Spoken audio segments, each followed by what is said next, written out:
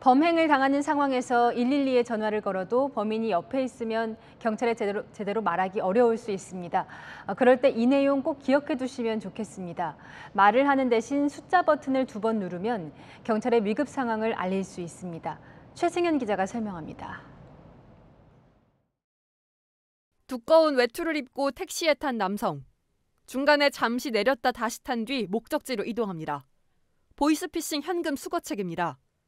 한 달 뒤 우연히 같은 택시에 다시 탄 남성.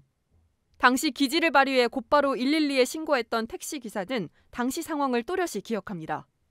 형님 저 지금 가고 있으니까 갔다 와서 식사를 하시죠. 112에서는 그걸 알아듣고 바로 상황이 안 좋으시니까 예 그렇습니다 그랬더니 고속도로 순찰 때가 이제 저를 따라 붙었죠. 신고자가 가해자나 범죄자와 함께 있어 정확한 상황 설명을 못하는 이른바 비정형 신고에도 경찰이 대응을 강화하기로 했습니다. 상황실에 신고 전화가 접수됩니다. 신고자가 아무런 말을 못하자 경찰관 도움 필요하시면 버튼 똑똑 두 번 눌러주시겠어요? 경찰이 신고 요령을 안내합니다. 112에 신고 전화를 걸어 숫자 버튼이나 휴대전화를 톡톡 누르면 말하기 힘든 상황임을 알릴 수 있습니다.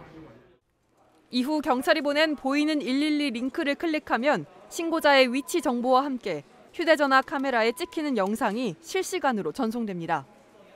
알뜰폰이라든지 외국 폰 같은 경우는 저희가 위치 추적이 어려운 게 현실적인 문제거든요.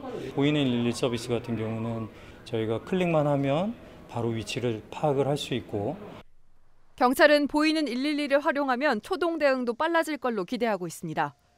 채널A 뉴스 최승현입니다.